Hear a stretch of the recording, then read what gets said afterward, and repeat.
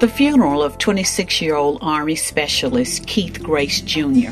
was held Friday, August 23, 2013, in Baytown, Texas. But first, this infomercial. First of all, to our audience, of course, the family here knows, but our viewing audience there does not. Willie was left for dead, shot six times.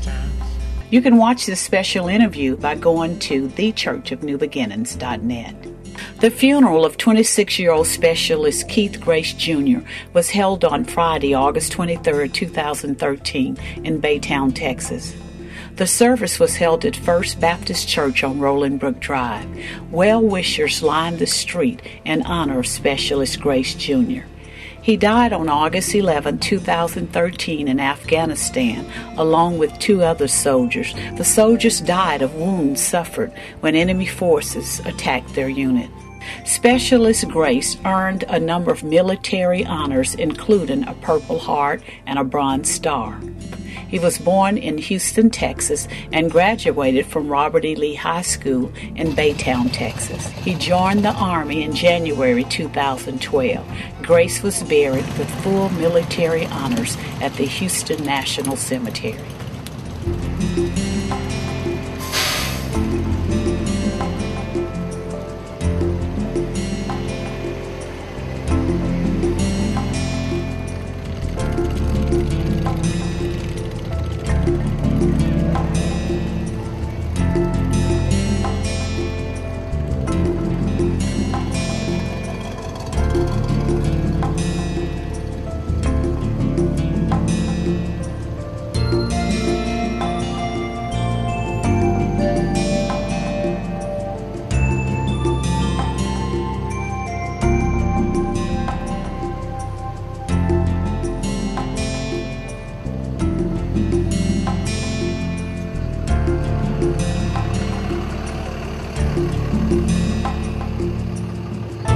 City Councilman Scott Sheely from Baytown, Texas. And I'm here today to be able to pay tribute to a young uh, lad who, who gave his all, who gave the ultimate sacrifice for our country.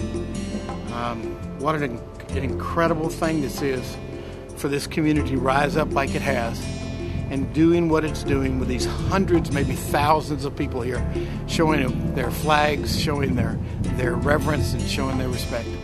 What an incredible day it is in Baytown, Texas.